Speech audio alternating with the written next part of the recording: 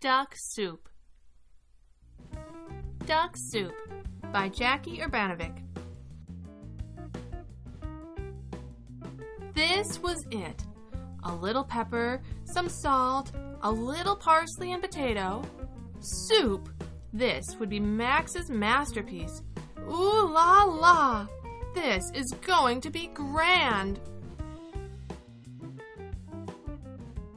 Max had made lots of soups before fish soup with curry and pickled lemon, red hot chili soup, squash gumbo, cracker barrel cheese and marshmallow soup, and way, way too many bean soups. He had cooked them all, but every recipe had been created by another chef, not Max. Now he was making his own soup, the soup that he, Maxwell Duck, would be remembered for inventing. Slurp, slurp, sip. It smells perfect, but the taste is not quite right. Max thought it over. A pinch of this? A pinch of that? Broccoli? Zucchini? Chives? That's it! It needs an herb from the garden. Just wait, my delicate broth. Max will be back to make you perfecto in uno momento. Smack! The front door slammed shut as Brody, Dakota, and Baby walked in. Sniff, sniff. Ooh, what smells so good? asked Brody. Max must be cooking again. I hope it's better than last time, said Dakota. Hey, Max! Maxie!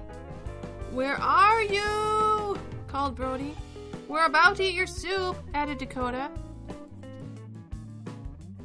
So, what's wrong? asked Brody.